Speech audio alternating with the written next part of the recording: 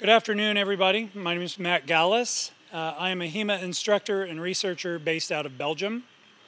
Uh, my focus is uh, was originally the German martial arts, but over time it sort of spread to pretty much uh, cover the entire gamut of European martial arts. And one of the things that I've been looking into over, I don't know, maybe probably the last 10, 15 years uh, has been historical rule sets. And it's interested me because I think that's an integral part of HEMA and it has a lot to offer us. And uh, that is going to be the subject of this lecture this afternoon. Next slide. Okay, so I guess the question is, you know, why does uh, any of this matter? That's going to be the first thing that I'm talking about. The other things is uh, an overview of the common themes that you see across historical rule sets.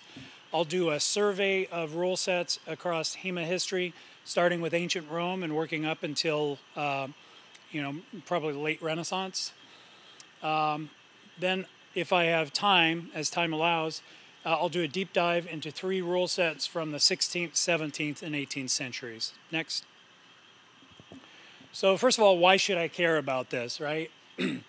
well, the H in HEMA stands for historical, right? And so it's nice to look at fencing, mas- uh, fencing manuals and take a look at old fencing techniques and bring those things back to life. And that's really what we're doing is reconstructing lost martial arts.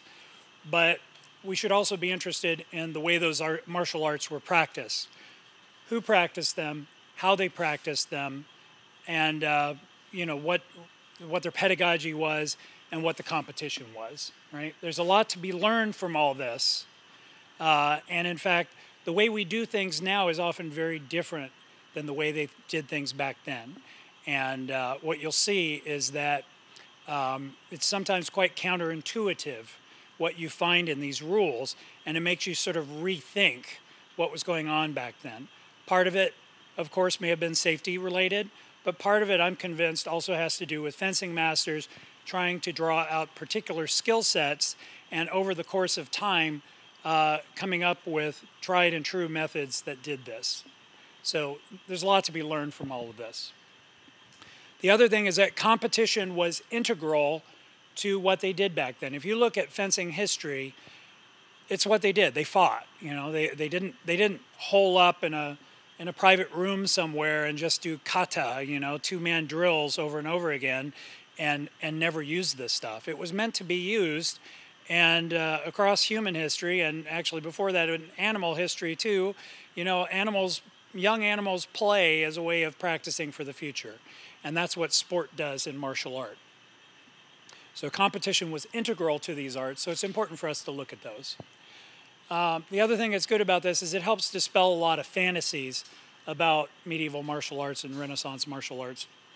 Uh, you know, there's uh, sometimes these funny ideas that people have if you're just reading the fencing manuals and you're just thinking of things like judicial duels. Well, that was only a part of what they did. And then the final thing, it's fun and it's cool. You know, I mean, there are the looking at these rule sets has brought things to us, okay? Um, how many of you in this room have competed? Put your hands up. Okay? How many of you have heard of the afterblow rule? Put your hand up. Right? The afterblow rule came from this research, right? It was a, a, it was a result of getting into Belgian archives, looking into old guild documents, reading the rule sets, finding out that they had this thing called the Neerslag. Did I pronounce that right?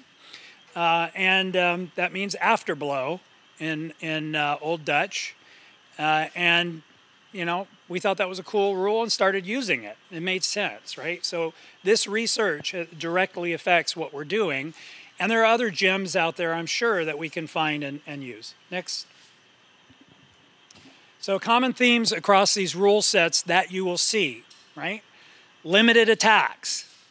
So you know maybe you're only using uh, a cut and not thrust. Likewise, certain rule sets are only thrust, no cut.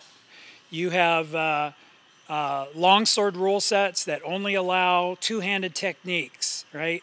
No pommels, no half swording, uh, you know, no one handed blows, right? There are all kinds of limitations on technique. Uh, limited targets. You know, you have rule sets that said only the head was a target. You have rule sets that said only the hand and arm were targets. Uh, you have others that uh, used a, a plastron that covered a very small portion of the chest, and that was the only thrusting target for certain small sword rule sets. So often very different than what we what we do now, where the norm for our rule sets is the entire body. Stopping the action, right? Typically, we stop the action after the first hit and an afterblow. Well, there are lots of rule sets back there that didn't do that. Weighted scoring, uh, we do that now. The reason we do it now was because of experiments with the Bolognese uh, rule sets from Manciolino and various other uh, Italian rule sets that had weighted scoring. We thought that was cool. We started doing it. We combined that with the afterblow, and that's really the genesis of a lot of the rules we use today. Uh, the question of a level playing field, right?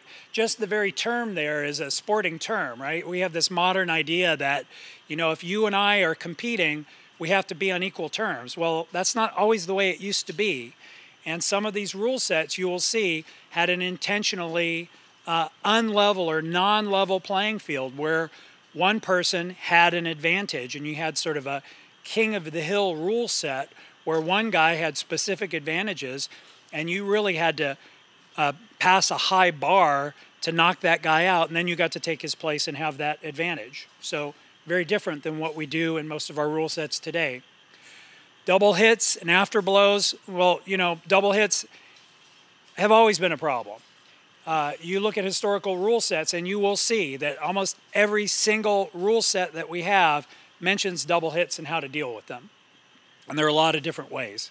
And I don't think they had it figured out, and uh, I don't think we do either. Uh, after blows, same sort of thing.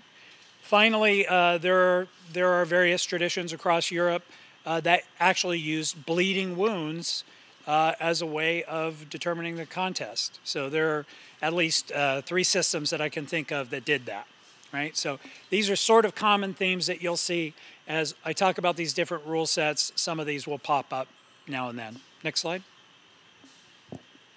So all the way back at the beginning, okay, in terms of anything that we really have information about rule sets for, is gladiatorial combat in ancient Rome.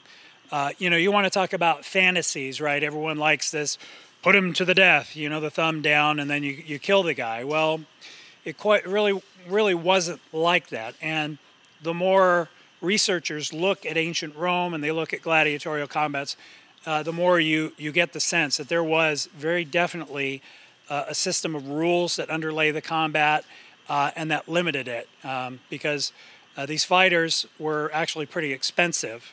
They were an expen- They represented an expensive investment, and generally speaking, the fights that took place in gladiatorial combats were not to the death. Uh, they were done until submission, basically, till one of them submitted.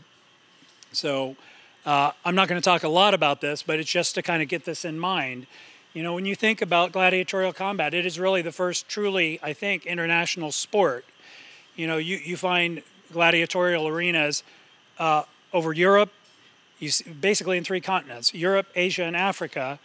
Pretty much the entire circle of the Mediterranean, you see arenas, and with every arena, there is some kind of a ludus, right, which is the fencing school that was attached to the arena where people were trained. Uh, and uh, there were rules associated with that. Uh, you have these stereotypical weapon pairings. Uh, there are quite a few different kinds of gladiatorial uh, types of gladiators, and they fought in sort of stereotypical matches. The classic one is the secutor, who's heavily armored with the shield and the sword, pursuing the lightly armed retiarius, who's uh, basically nude with very little armor and a and a trident uh, uh, and a net. Right, that's the classical gladiatorial thing. Uh, one of the things you see here is that gear is a way of shaping the fight. Rule sets are all about shaping the fight bringing, creating the kind of fight that you want to see.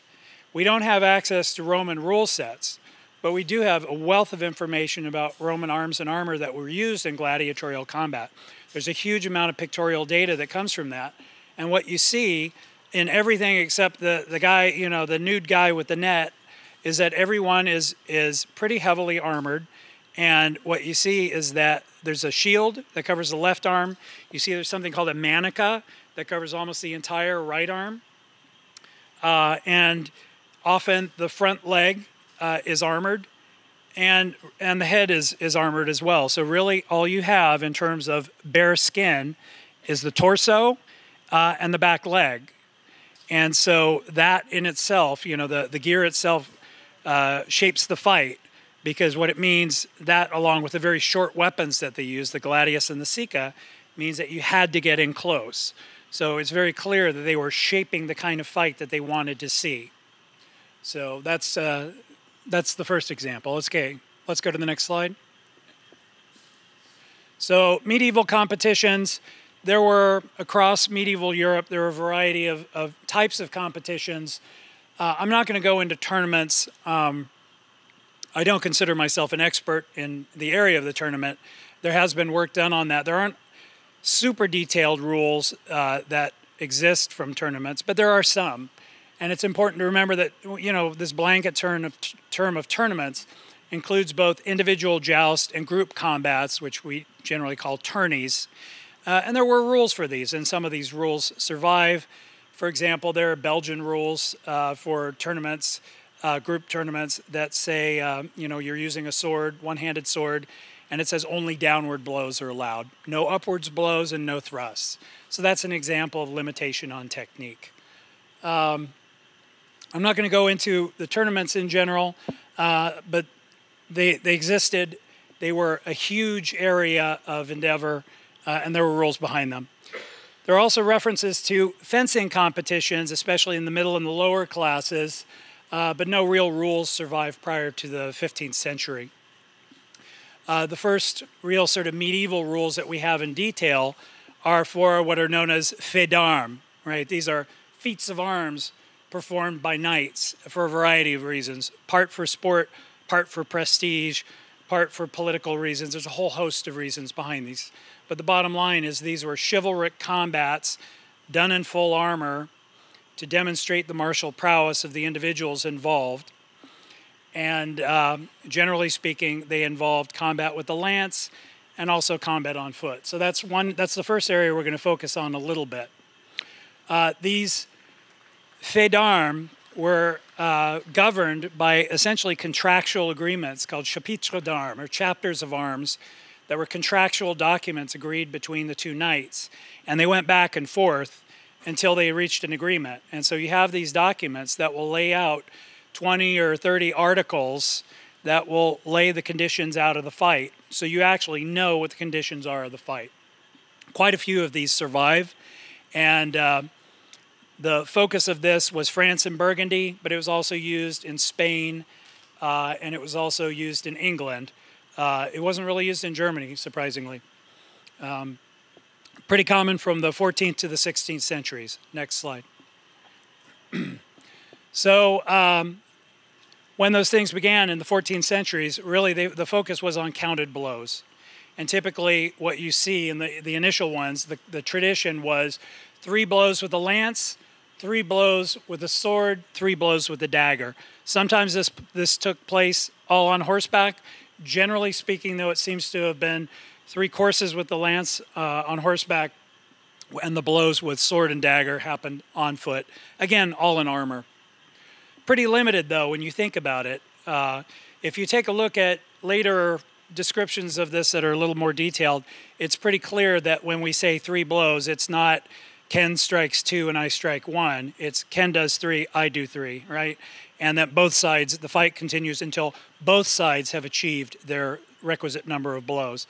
So um, that doesn't sound like a lot, right? Three, three, three. Um, but remember, these were generally with sharp weapons. They were weapons of war, and it was in full armor. So there was a certain amount of risk, uh, actually, a fair amount of risk. And it's not uncommon for people to be injured, but not, generally not killed in these sorts of things. And there was a Turkish ambassador who saw this once and made the comment that if this is in earnest, it's not enough. If it's in sport, they're going too far. So he was very sort of surprised by how uh, how how earnest the combat was. Okay, so this sort of morphs over time. By the late 14th century, um, you add the poleaxe to the mix, and the poleaxe becomes increasingly an important weapon. By the mid 15th century, uh, it's changed even further so that the lance on horseback and the poleaxe on foot are the two focal points. Burgundy, in particular, is the is the locus of most of this. You also have number inflation. Uh, so what starts out as you know an exchange of three blows just keeps going up. You see three, six, nine, twelve, and the the top number I know of is forty three. So that's 43 blows with the poleaxe. That's you do 43, I do 43. That's a long fight. So, okay, let's next slide. So, just an example. Uh, this is one of the early ones, 1386, and this is taken. The first one is is an excerpt from the Chapitre d'Armes, right? The agreement. Uh, you know, Sereno, French knight, writing to the English knight, asks of him in the name of love and his lady. You get this lovely chivalric flourish that he consents to deliver three blows with steel lances on horseback three sword blows, three blows with the dagger, and three blows with axes. Okay? So, um, and then in the bottom, because this comes from a chronicle, uh, is the actual description of the fighting. They finished the encounter with lances, and they took their axes, and uh, they gave the, the three blows with them on their helmets. Same with the swords, and then with the daggers. So that gives you an idea. That's about the level of detail you get in most of these early ones. So, um, not a huge amount of detail there, but it does suggest for those people who are doing armored combat that this is what you ought to be looking at. And I'm always kind of surprised, frankly, when I see some of the rule sets that I see uh, uh, for armored combat that really don't seem to reflect this sort of thing very closely. Uh, I guess you have the same thing in things like longsword, which uh, frankly don't really closely reflect uh, historical rule sets as well. Um, no, not really. But um, from some later sources, uh, I would say that it's probably uh, for the armored combat. It's anything that landed. I don't. I don't believe that anything that does not land, like a blow that misses, I'm certain that that would not be counted. But I think it's it's a blow that either is either lands on the armor or is parried. That's that's what would be my uh, my belief on that. All right. Uh, repeat the question. Yeah, okay. The, the question was what did they count as a blow under those circumstances? And to be honest with you, Ed, you know, we don't really know. You know, you, you go with your best evidence, and, you know, that's my sense. I may not be right on that, but that's the, that's the feeling I have. Next. So here's another one uh, that's a little small to read, but basically, uh, this is a similar one. It's a description of uh, this is from a correspondence between a Spanish knight and an English knight. It's laying out the uh, terms for for the combat. We're in 1400 now, and what we're talking about is poleaxe, sword, and dagger. The combat is on foot. Uh, the number of blows with each of the weapons will be as follows 10 blows with the poleaxe. So you see the number has gone up already from 3 in 1386 to uh, 10 in 1400. That's inflation, medieval inflation. Uh, so 10 blows with the poleaxe without stopping. Once the 10 blows are completed and the judge says, ho, uh, we will carry out 10 blows with the sword without stopping or separating one from the other. So there's no separation. It's, it's you know, continuous combat. Uh, and then once those are accomplished, uh, they pull out the daggers and they carry out 10 blows with the daggers. And if they lose the weapons, the fight continues, and the other guy just keeps to gets to keep hitting. So um, interesting. You can you can see this here where you have uh, nowadays you have you have experiments with continuous what we call continuous combat or continuous fencing. This is an example of how that sort of thing is going. These these, uh, yeah. Would these be between individual contestants within the, concept, within the yeah. No. No, these are almost uniformly single combats between two individuals. Um, there was usually um, a lot of pomp and circumstances. These were, these were generally individuals who are up and comers in society. And, um, you know, they were, for example, there's a, a, famous Belgian knight named Jacques de Lalaing, right? And he, uh, he, he engaged in a lot of these. He's probably the most famous tournament fighter. And uh, he was a, a very, very important individual. And, you know, he was a general. He was, Uh, he was a, he was a member of the Privy Council of the Duke of Burgundy. He was a real heavy hitter, uh, and he was important in that part of Belgium. You know what's now Belgium or Upper Burgundy, uh, and so yeah, uh, he wasn't interested in sharing the spotlight with anyone else. Right? He wants to show up. He, he there's a huge number of people watching. He's aiming to make a splash. He was doing this at the court of the Duke of Burgundy, court of the King of Spain, you know, the court of the King of Scotland, things like that. Next slide. interesting to me, one more comment. What's interesting to me is that there's no provision for grappling. What happens where so much of the technical code, shown is grappling techniques to take advantage of Right. So the comment was uh, surprising that they haven't talked about grappling, and that's an interesting thing because they generally don't talk about grappling, and uh, it's. Um, you you do hear you do see grappling in these, but it's generally in another context that we'll get to. Right now, that was a nice segue for me. So the thing is, uh, you know, the the early uh, the early descriptions are not all. You saw some of the descriptions; they weren't really in in that much detail. By the time you get to the late uh, 15th century, or I should say the mid 15th century, about you know 1445 or so, you see this new format come in where the fight is until one of them is disarmed or one of them is thrown to the ground with his entire body or, or several parts of his body. And in that, you see, you know, there's really no choice but to grapple in those circumstances. And, uh, you know, just because you're getting later in time and the society is becoming more literate, um, you get some extremely detailed uh, descriptions of these poleaxe combats. And in fact, the uh, Jacques de Lalaing, the Chronicle of Jacques de Lalaing, is extremely detailed on that, and quite a few, if not most, of the fights devolve into grappling. And in fact, uh, uh, Jacques de Lalaing seems to have specialized in a particular technique where he closed in with his opponent, did a wrap with this arm, had his poleaxe in sort of a reverse grip, and was stabbing with the um, with the point of it like a dagger into the face of his opponent, including cases where his opponent had an open face helmet. I got a lot of questions here and I got a lot of material to go through. So I'm gonna what I'm gonna do is I'm I'm gonna blaze on, uh, and I'm happy to take questions at the end. But uh, but you know I'm even as it is I'm probably not gonna make it through all my material and and so I hope you'll understand. So okay, so uh, the bottom line on on this is a much more fluid fight. You hear about disarm disarming techniques. You hear about throws and these sorts of things and Jacques de Lalaing being the classic example of this. Okay, next. Um, yeah, and here's an example from one of the Chapitre d'Armes. The third article is that we shall fight with poleaxe or with sword until one of us two is brought to the ground with his entire body. Okay, and next, uh, next slide is another example, also from Jacques de Lalaing. So he had actually had a, um, uh, he did a, a what they call a pas d'armes, a passage of arms, where he basically took on all comers, and you went up and you banged on a particular shield for a particular weapon you wanted to fight him with, and then you were supposed to specify how many blows you wanted to do.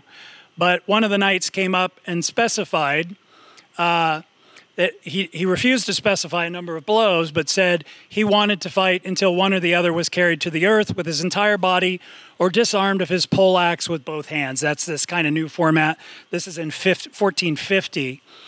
Uh, but that was not acceptable to Jacques de Lalaing, who's the guy doing it. He wanted counted blows.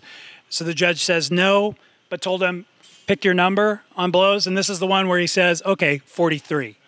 So long fight. Okay, next. And actually, even though these were, come to think of it, even though the, the that particular pas d'armes was counted blows, they definitely did grappling in there because I remember I remember the, the accounts. Okay, so now we're going to pop to another tradition, right? Um, uh, before I leave the, the knightly ones and the chivalric arts and, and fighting in armor, uh, what I would say is um, I would encourage those of you who are doing armored combat to take a look at these. There's a wealth of material out there. These chapitres d'armes are there. They're easy to replicate. Um, just the nature of armored combat, I think, is such that you could do this. Uh, the disarm or to the ground, they did it. I, frankly, I don't see why people aren't doing it. I'd love to see that, and I'd encourage people to look at these in greater detail. Okay. So uh, the next thing we're going to do is we're going to look at the German Fechtschule, right? Fechtschule literally means fencing school, but that's not what it meant. In this context, uh, what they're talking about, the Fechtschule was pretty much a public fencing competition uh, that would be put on by a wandering, generally a wandering fencing master who would show up, get permission from the city council to hold this uh, this kind of public fencing competition with all the weapons that we know from the German fencing manuals the longsword, the rapier, the dusak, the staff, those sorts of things. So, very broad variety of weapons. uh, it's a bourgeois tradition, you know, comes from the middle class in the cities. Um, but what's interesting is they're actually counting blows. Uh, and, you know, just because of the timing of this, it, it looks to me like this is likely influenced by the older chivalric tradition of counting blows that we just talked about in an armored context. And there is a long tradition of the burghers in the cities imitating the knightly class and you know doing jousts and imitating their fashion and and and wanting to do all these things that the knights do because they're the cool the cool kids and you know the the aristocrats in the city and others want to do that as well. So it's possible that the counted blows that we see in the Fechtschule tradition are, you know, something that's imitated from that. Um, but who knows? I mean, uh, you know, on the other hand, that uh, the the feats of arms that you see in England and France and Spain really didn't make it as much into Germany, so maybe that's not the case. At any rate, in terms of the rule sets, just to go over these quickly, uh, it's very, very limited. And so this is what's interesting because we take a look at our modern rule sets and everyone wants total wide scope so you can do all the techniques in the fencing manuals and entire body target, no limitation on technique, uh, you know, continuous fighting but no limits. Um, well, that wasn't the way they did it. That was not the way they did it. in fact, the Fechtschule rules are probably one of the one of the rule sets you'll find with, with the most limitations. So what you see is they're using cut only, no, no thrust. So the, the thrust was not allowed. Pommel strikes were not allowed. Grappling was not allowed. It's cut only. You have a limited, limited target. The hands are off target. That's explicitly said. Now, the rest of the body theoretically is, is on target, um, but the fact of the matter is the, the uh, victory conditions for these matches was a bleeding wound, and it was the highest bleeding wound. So where they what they always say is strike where the hair is thickest, right between the well for most of us, uh, between the ears. Uh, that's the place where you can make people bleed the easiest uh, when you're when you're fighting with steel weapons. Um, and so that's what they were aiming for. So in practice, even though the body was the entire body except the hands was target, in reality they were just fencing for the head. So very limited target area. The fight was divided into Gänge. a gang literally means a go. So, you know, like sometimes we say you get three goes. That's basically where it, where it comes from. So the fight was divided into Gänge or rounds, each with a set number of blows. Now, uh, there were a lot of different formats, clearly, but it seems like three Gänge, three rounds, was the standard. That was the norm, and there are, are references to that being fencing custom at these kind of competitions. That that was the the tradition. Um, and then within each of those rounds, there was a set number of blows. Unfortunately, we don't know how many blows there were. Uh, it's likely that it varied. Um, this, this idea of dividing a fight, fight into rounds and a certain number of counted blows within it, and again, it blows from each party. So if it's a if it's a Gang of four cuts, then uh, Ken strikes four, I strike four, and it's finished when the last one finishes his fourth right? Um, this Gang based fencing system never stopped. It is still in use today in the German fencing fraternities in their Mensuren, which are the you know the student duels that they do with the saber. They still do this today, and it's an unbroken tradition from as early as we know of this. Uh, you know, which is basically the uh, I think the earliest reference to a Gang is the 15th century. Uh, so from the 15th century until the present.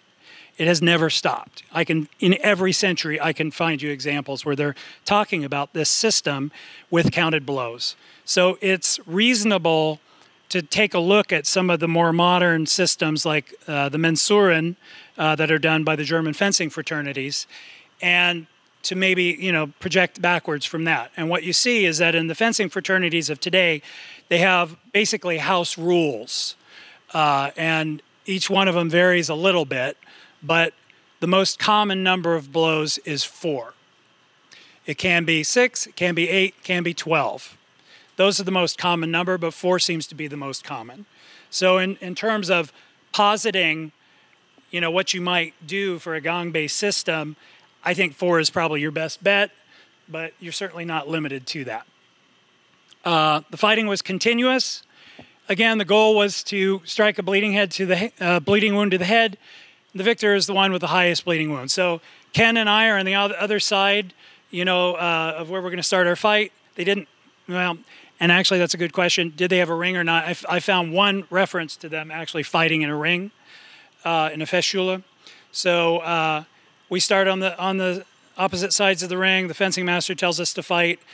We fight and nothing stops until there are uh, four blows struck from either one of us. And I think it's interesting that Joachim Meyer, in his fencing manual from 1570, you know, when he's talking, he's teaching you the cutting combinations, he's got four cut combinations. And we also know that he was involved in that Fechtschule tradition. He actually participated, he actually organized some. There, there are references to that. So uh, I think that, who knows, maybe that's evidence uh, that they were doing those sort of uh, you know four cut Gänge and that's sort of how i would see it happening you know i'd circle ken for a bit and then i'd step in with my blow and then bang bang bang bang right uh, or maybe i want to hold one back just in case right but then he gets to do the same thing we've some of us have done some experiments with these sorts of things uh, you know chalked blades and things like that uh, using a using Gänge and using four cuts per round. Uh, it's it's a very interesting thing. I'll tell you, when you have four cuts, uh, you don't want to use them all up because you know then you're completely on the defensive, and that's not such a good feeling. You always want to have one in your back pocket. That was that's my takeaway. So at any rate, that's the system, and that's for a variety of weapons, right? That was for all of these. It was for halberd. It was for you know the, the long spieß, the long spear. It was for you know, staff, rapier, rapier and dagger, dusak, longsword. So all of these use this system. Next slide. So just a couple of uh, excerpts from rules.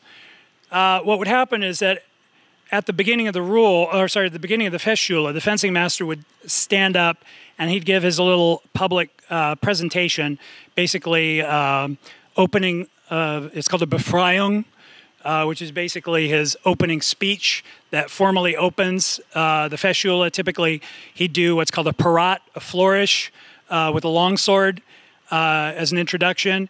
And then he would give this very sort of formalized speech where he'd lay out the rules.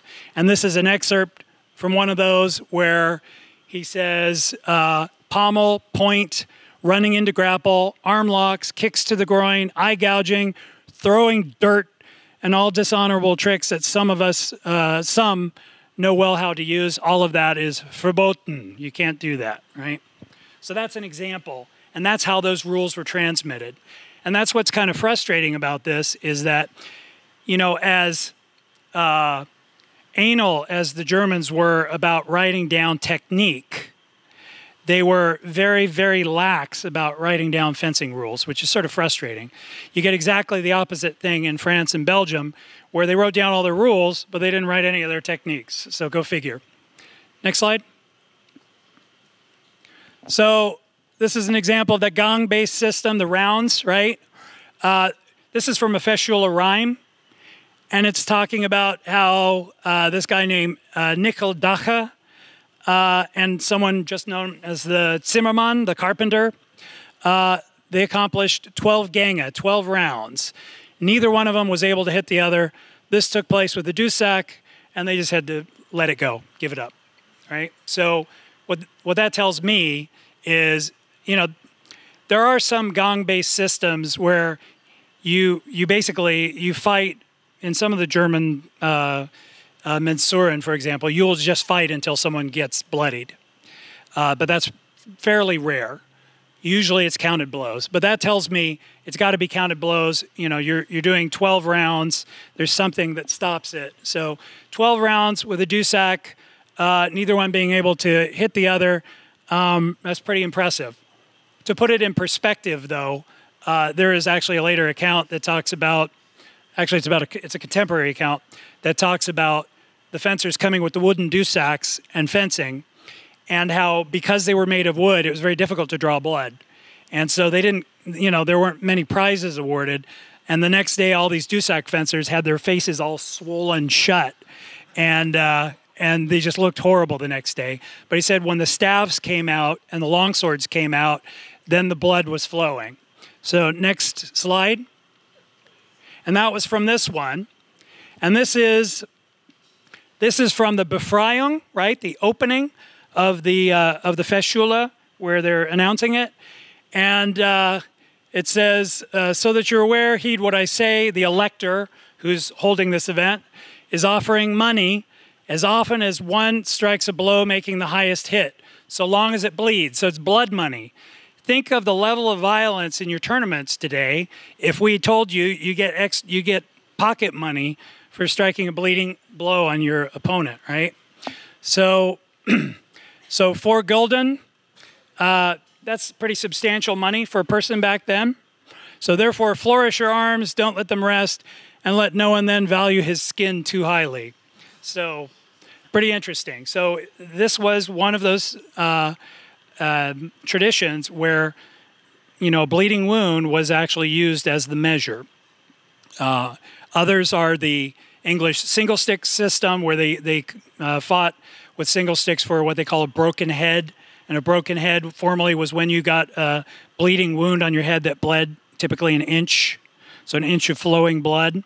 Uh, and there were similar systems in France and Brittany, stick fighting systems, where they did the same thing, fighting until uh, blood. All right, next slide. So now we're going to jump traditions. We're going to jump next door to France and Belgium. So what's interesting here is uh, you know, in Germany, we, we know about the Marxbrüder and the Federfechter, right? And these are two big fencing guilds that pretty much cover uh, not just Germany, but pretty much the Holy Roman Empire, right? And uh, they both eventually had imperial privileges that allowed them, gave them pretty much a monopoly. Uh, in France and Belgium, it was different. There was no unifying, overarching body with a captain like you had for the Marxbrüder and the Federfechter. It was localized in each town. Uh, and so you had fencing guilds in each town. Uh, but the practice was very uniform all across Belgium, all across France.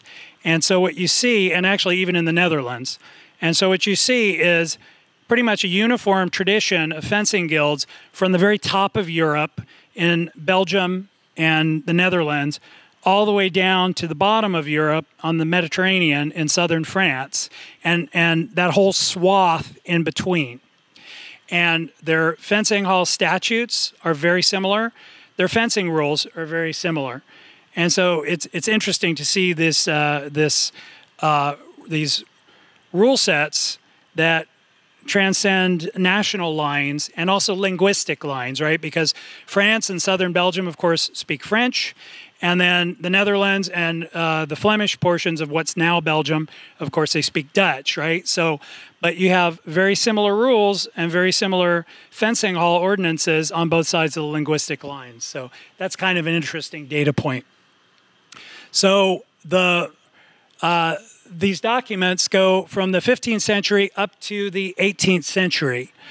So the weapons of choice were longsword as a foundation weapon, rapier, and rapier and dagger. Those are the three weapon combinations that you see. And if you think about it, one's a two handed weapon, one's uh, a, a single handed weapon, and one's a double, you know, what, armas dobles, as the Spanish would call it, double arms, one in each hand. So you got that sort of gamut covered there. These competitions took place up until the French, Re- French Revolution. Most people don't realize.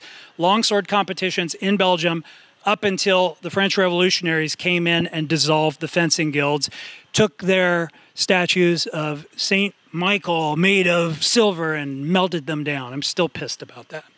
So, um, pretty cool. Uh, but uniform rules uh, all across. So let's go to the next slide. Sorry, what? It's also the old Champagne fair trade route. Yeah. Yeah, it's true. Okay, so Franco Belgian rules in brief you have a lottery system, right? So what happens is everyone shows up and they pull a lottery ticket. and in fact, if you remember the guild, you were obligated to fight in certain tournaments. Um, the one who draws number one is the king. Uh, so he goes first.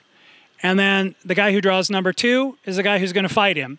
And he's the challenger, the champion. Different guilds call him different things. The goal is to dethrone the king and replace him, right? Uh, each competitor has a limited number of lives. Actually, the term in French is venu, which literally means, you know, uh, come, uh, as opposed to the Germans who go. Uh, sort of funny, but it's called venu. And in English, it was sort of corrupted into veni, is what they called it. So essentially, it's like a one point life, right? And so to dethrone the king, you have to hit him what's called a clean hit, and and there's a lot that goes into a clean hit. So uh, that means it has to be on a valid target area, which is above the waist and above the elbows. Uh, it can only be given uh, with with longsword, uh, only with a blow, not a thrust. They used the flat of the weapon. They chalked the blade so that you could see the marks and they wore black. So HEMA black is historical. There's specific rule sets that say to make this easier, uh, everyone's required to show up in black. Um, but the thing is, remember I talked about uh, level playing field. This is not a level playing field. The king has a privilege, and that's uh, that is the privilege of the afterblow, and it's kind of worded in different ways. But uh, if there's a double hit, uh, it counts for the king. If there's an afterblow, you know, the king has an afterblow. So you hit the king, uh, a nice, clean, what appears to be a clean hit. He still has a chance to hit you back.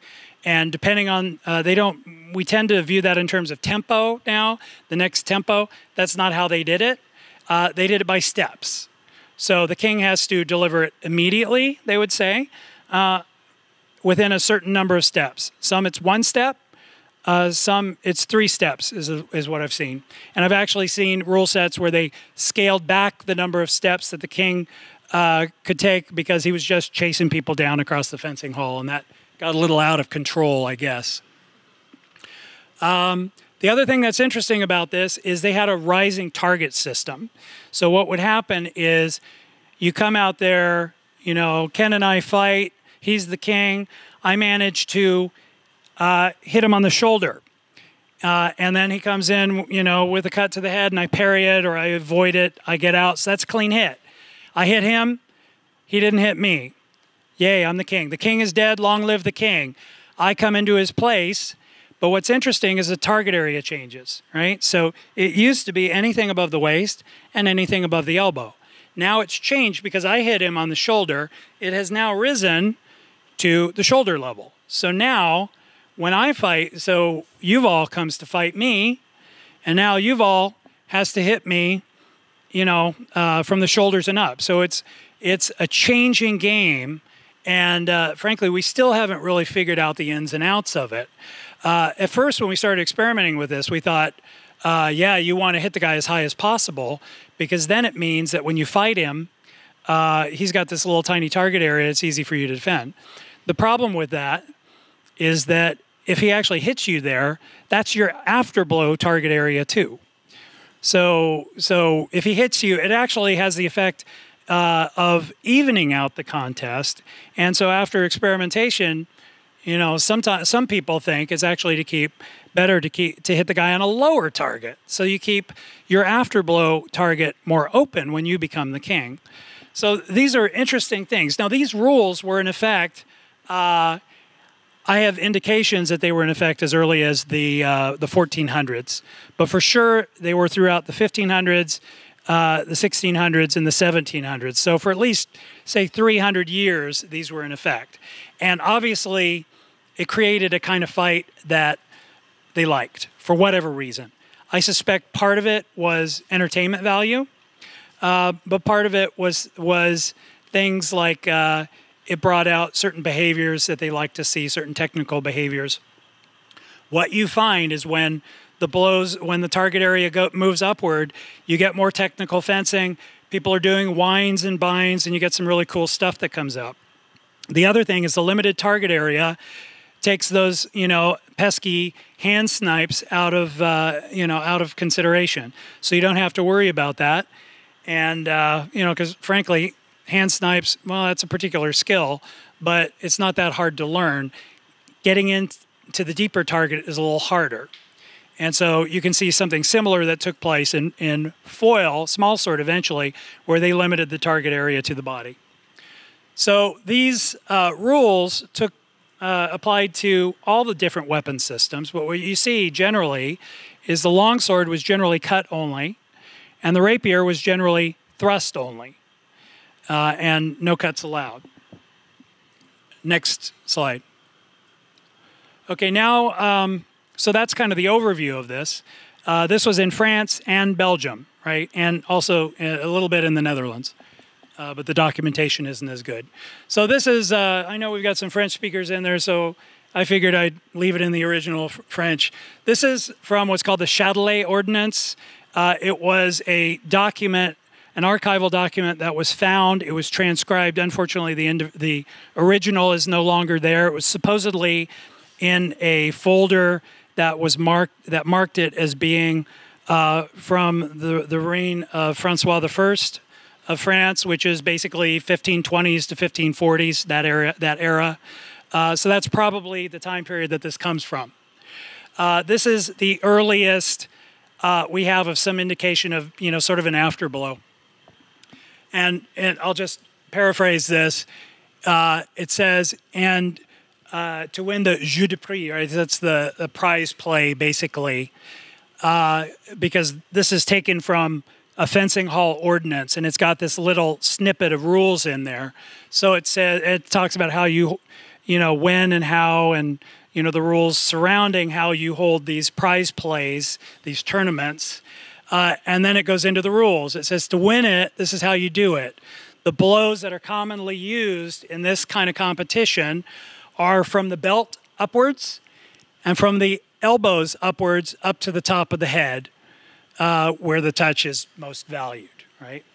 So that's what you see from that point onwards, from this sort of 1520, 1540 ish thing, is that's the standard target area that you see all across France and all across Belgium. It's from the waist and up, it's from the elbows and up. Next slide. So here's another one a little later on. Uh, and this is the earliest indication of something like the afterblow rule, right? Except this is uh, on double hits. It says, but the blows cannot be fourré. Fourré, a coup fourré is basically a double hit. So, and if they are fourré, if you if you have a double hit, they are they do not count for the assailant. In this case, the assailant is the challenger. Uh, that is the truth. But for the defender, that's the king, right? That's the guy who drew number one. Uh, they they serve him well, uh, and they are they count as a valid uh, touch, and there is no doubt of this. So this is your initial indication of you know that lack of a level playing field where you get you know the king's privilege as we tend to call it now uh, where you know the guy who's you know the king of the hill has that has that privilege and how exactly they characterized a coup fourré. We don't really know because they, they don't, don't go into that much detail. Still, a lot of this was must have been oral. You know, for every sentence we have, there are probably 10 pages of oral custom behind that that we'll never have access to. Next slide. Um, so this is kind of interesting because I told you that you have a certain number of lives, right? So uh, if Yuval is the king and I come up against him, uh, and I hit him, but he hits me with an afterblow, I lose, right? So I lose one of my lives, and I go to the end of the line, and the next guy comes up and fights him until he loses, right? Um, now, most of the later rule sets, it's a set number of lives that you get. But this early rule set is really cool because it conditions your number of lives on how deep you are into the guild because the fencing guild had this sort of you know staged membership where first the novice comes in, he swears an oath, gives money to the fencing master, uh, and that's for each weapon. He has to swear an oath and pay money to learn the basic jeu, right, which is the basic techniques, the basic game of that weapon, the play of that weapon. Uh, and, and if he hasn't done that, he's not allowed to compete. So if he's done, if he's taken the oath and had the basic training, he gets one life. If he's gone further on, uh, and if if they say he's passé en roue, that means basically what we would say enrolled. Uh, that's a, a, deeper level of membership where you become a permanent member of the guild. Uh, then he gets two lives. And then uh, if he has uh, passé en défense, which is uh, literally passed in defense, that means he's undergone some kind of a test, you know, probably similar to the scholars test that you hear about in England. Then he gets three lives. And this is brilliant if you think about it, because this guild is not just for fun. This is a money making endeavor for the people there. You see, when you read these, I haven't put up the fencing hall ordinances, but it's all about about milking students for money. And if you think you have it bad now, man, read these fencing hall ordinances, and you know you swear, you spit, you, literally you belch or fart. There is a there is a fine, and it's all about pulling money out of you.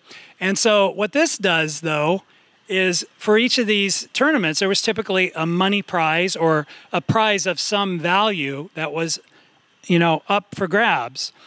And so there was money to be had. And so this is a way of sucking people into the guild and drawing them deeper and deeper in because they say, well, shoot, you know, if I had a little more time with Yuval, you know, if I had another go with Yuval, I'm pretty sure I figured out his game and I could take him out, but I've only got one life. So maybe I'll enroll because I can get some money out of this. So it's a very cool thing. Next slide. Okay, now we're going to jump forward in time a little bit more. Uh, this is actually, you know, still contemporary with those other rules because, you know, I said both the German Fechtschule, the German Fechtschule went on till the 1700s at least. The, you know, the fence, Belgian, the Franco-Belgian rules went on until the 1790s. Uh, this is, you know, uh, developing parallel to that is the small sword, right? And that is, you know, this fancy new weapon that everyone's doing. And actually, it's kind of becoming real popular right now in HEMA. So, you know, nothing changes, right?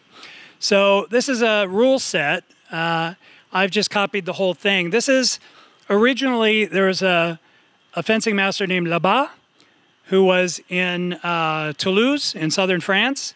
And he wrote a fencing manual and at the end of it, he included the rules for the competition that took uh, place on a, a yearly basis in Toulouse. And uh, there was an Irishman named Mahone who uh, wrote his own fencing manual, and uh, and basically it's a translation of Labat. And he also did a bad translation or an incomplete translation of the rules, but at least this is the the Irish variation of Labat's Labat's 1696 uh, rules. So all thrusts from the neck band to the waistband are counted as good. Now, mind you, the misspellings there are blame that on Mahone. That's not me. Okay. So what you've got there is, uh, and I, I, didn't say this. Um, the head was valid target in the Franco-Belgian rules when you're cutting, right? With a long sword, you're using the flat. Whenever using the thrust, the face was off target, right? That's pretty common uh, you know, prior to the advent of the fencing mask, that you know the, the face was off target. And you see that it actually carried forward in time and the face continues to be off target in foil. And i think that's just a carryover. So from the neck down to the waistband everything in there is considered good. The french version actually goes on further. So that sounds good right? It sounds like your waist is here and your neck is here. It's a pretty big target right? But the french version actually says yeah, um, from the belt to the neck, uh, but you you tie the the belt about a foot below the chin. So that's actually right up to it's actually like your ribs and higher. So it's actually it's not down to your really your waistband. Uh, it's actually a little plastron that is pretty much from your rib cage up to your neck, and it says the French version says within the seams of the shoulder. So literally for small sword, on these historical rules, you have something that's basically about a foot by a foot square, and it's only the front of the body. So it's really kind of interesting how, how limited the target area is here. So the next paragraph talks about coup fourré or interchange thrusts, that's double hits. Uh, they're not counted on either side, so they just throw them out, uh, except one of the competitors has recourse to it in order to make the thrusts equal. Then the thrust of the other is good and not his. What that means is a subject of debate. Some people see that as essentially forerunner of uh, right of way. Uh, some people see this as uh, seeing that second blow as an after blow. Uh, you know, I'll leave it to, I'll leave that just as a matter of debate. But it's an interesting thing. It's a different way of dealing with it, right? Those Chatelet, the Chatelet ordinance that I put up there, you, have not a level playing field, and the the coup fourré, the double hit, is valid for the king, but not for the challenger. Here, we're on a level playing field, right around 1700, um, and double hits are thrown out. So in this one, if one hits the body and the other the face, the thrust on the body is counted and not the other, you know, because it's already off target. So basically, if one hits off target, the other one hits on target, the on target uh, is valid. Next, next slide. This is interesting too, right? If you look at the way we practice small sword in HEMA, um, people love using that left hand. They love grabbing the blade. They love hand parries, uh, and and it was definitely off limits uh, in both the French version, this Irish version. There's a Brussels rule set for uh, they call it rapier, but it's 1716, so it's probably small sword as well. All of those uh, expressly forbid any parries with the hand any grabbing with the hand. Certainly, fencing masters will tell you in their fencing manuals that it's a skill you need to have, um, but they didn't allow it in competition. And, uh, you know, the main thing is it's just, it's easy to do. And uh, uh, it really quickly devolves into, uh, into either A, a very ugly fight, or grappling. So there are the rules on that. So those are uh, and and it's interesting because they see it from reading this. You, it's clear that they see it as kind of unfair as well. So next slide. so if parrying, binding, or lashing, I think it's beating the foil. It falls. So if, if you knock the weapon out of the other guy's hand and you hit him without interval, then that is good. Two-handed thrusts, shifting from right hand to left hand, that's not allowed. Two-handed thrust with a small sword or foil sounds weird, but of course that shows up in quite a few fencing manuals, both half sword thrusts and two-handed thrusts with foil uh, or small sword show up. Not allowed in competition. and then of course the master doesn't give judgment for his own scholar. Next slide. These are just a few of the original French from 1696 that weren't in there. Uh, the top one, seven, is the one I told you about where they're the one. Uh, the French version actually is in more detail, where it says uh, that you tie a belt uh, around the body, uh, and that belt is uh, put slightly, uh, basically, slightly more than one foot below the chin, and that the top border is the height of the neck, and within the the seams of the shoulder of the shoulders. So it's that very narrow target.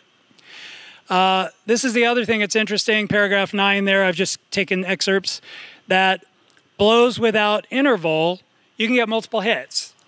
So if uh, Yuval and I are fencing small sword, and I want to show him my badassery, and I go boom, boom, I hit him and I hit him twice in a row. I can get two hits in one round, and it counts. And it says, uh, so they're counted as two. Um, doesn't matter how it happens, uh, as long as it's marked in two places. And when they say marked, you know, marqué, they sometimes call it, they say a, a coup marqué, that's a, a, marked blow, literally. That means uh, a blow that, that has created a chalk mark from the chalk that they put on the blades. And of course, with rapier and small sword, just like uh, in old school uh, foil fencing, you know, used to have a rubber button on the top. They used to have a leather button that they would put on the top, and they would put chalk on the tip of that to mark, uh, and generally they were they were uh, either in black using white chalk, or they were in white and they had some kind of a red dye. Next slide. So, uh, hang on one sec. What what time have I got? Okay. So I uh, so that's pretty much the the time I have allotted for this. Uh, just in conclusions, you know, fencing competitions have always had rules. They've always been pretty rule bound. Even the things that you think of because of you know television, you know, uh, gladiatorial combats, uh, fights between knights. You know, come on, people are people, and and they generally uh, put rules on violence. It's just th- something that people do. Even even you know uh, in prisons where you have fights, there there are certain rules of, of conduct. These rules, regardless of you know whether you're looking at Roman fights, whether you're looking at you know uh, knightly feats of arms or German Fechtschule tradition or what have you. These rules are generally quite different from what we do and quite limited. That doesn't mean they're worse, right? It means, uh, well, in part, yeah, maybe it had to do with some safety concerns, but it also had to do with drawing out particular skill sets. And that's something to remember. Rules are a way of shaping the behavior of fencers. That's always what you remember. And every rule that you make has a consequence in terms of the behavior that comes out of the fencers. And so, you know, and of course, uh, there is always this law of unintended consequences that attends fencing rules. And, you know, you want to create A behavior, and inevitably, yeah, you're going to get some A, but generally you're going to get some K and J and L that you really weren't counting on and you don't want. So then you got to tweak the rules a little more. Mike Chittister, Chidester, sorry, can probably talk to you a little more about that. Um, another comment historical rules also give insight into what historical masters thought was important, right? So even though in the German fencing manuals we see this broad range of technique, you know, you've got something else that's occurring in public, and uh, somebody, uh, fencing masters who are running these competition, obviously think that's important.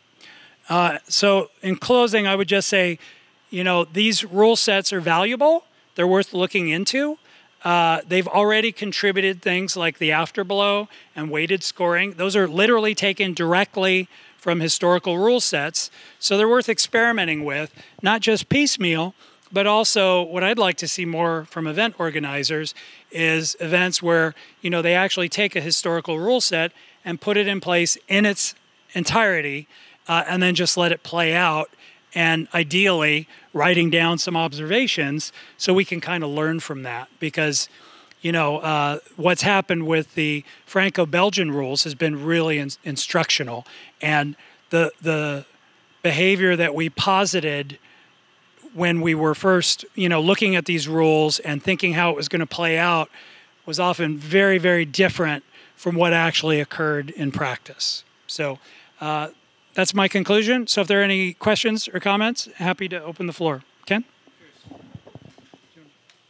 So what about the warping effect of safety equipment? Because of course they didn't use masks and such. So what effect did that have on the conservatism of the fighting, and how would we we would we mirror that? That gets back, of course, to the whole kind of virtual right of way question. Yeah, that is that is actually a very good question.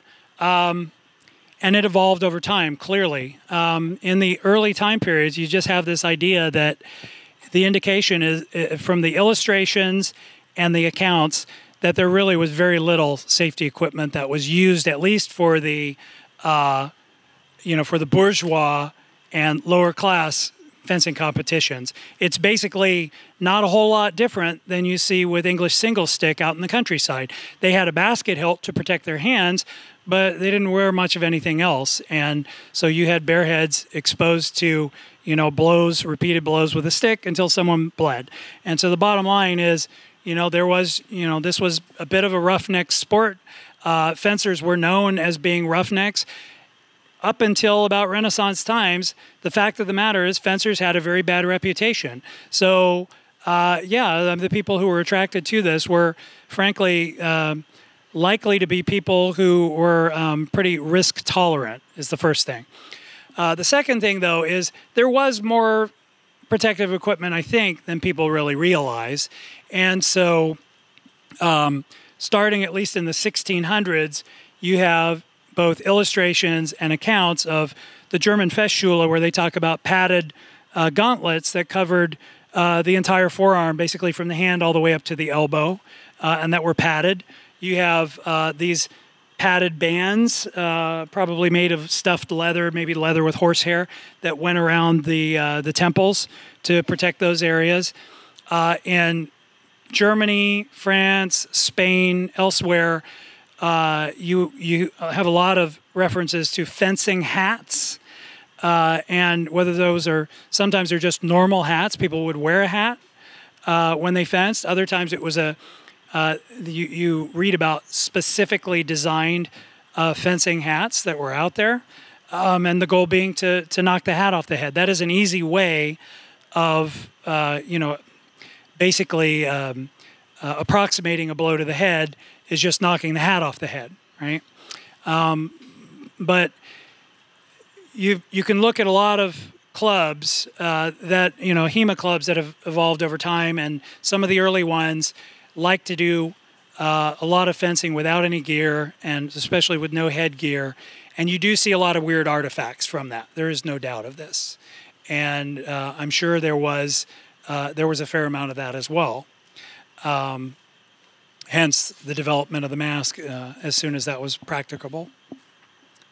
Uh, I see you looking mostly at uh, continental systems. Do we know much about the English prize fights and those kinds of what kind of rule sets those people use? Um, not really. We know sort of the broad outlines. We know about we know a lot about the weapons they used. Uh, we know certain certain rules like uh, uh, you know in uh, there's a Sloane manuscript uh, in in England that basically describes the rules. Uh, it, it's basically the uh, the statute book for the English Masters of Defense. There uh, are sections in there that talk about the test for mastery, and of course you had to fight to show your to show your skill. Uh, and there are some occasional mentions that indicate rules, and one is that you were not allowed to strike a blow and then run in uh, corps à corps, you know, body to body with the other guy, so that uh, it says specifically so uh, with the specific intent that he intent that he wouldn't be able to strike back at you. So that sort of indicates to me that they have an afterblow system, uh, and there there are uh, there is a, a there are a couple of mentions of something called an after veni. A veni is a hit or a score. So um, there are indications that they used an afterblow system, but not a lot of detail. Uh, I've never seen any detail. Plenty of things like uh, um, bills posted on the wall, posters saying, you know, there's going to be a fight at this time and it's going to involve the following weapons. And so you know what the challenges look like, you know what the weapons look like, you know what the conditions in terms of the ring and everything. That's pretty well understood. You have some pretty good descriptions of those fights. But in terms of rules, no. So from, we're, we're not able to deduce much from the descriptions we have. Uh, I haven't been able to. Other questions? Okay, if there are no other questions, thank you for. Uh, it's 4:30, and I have a live stream at five, so got to prep for that. So otherwise, I would. Like, thank you.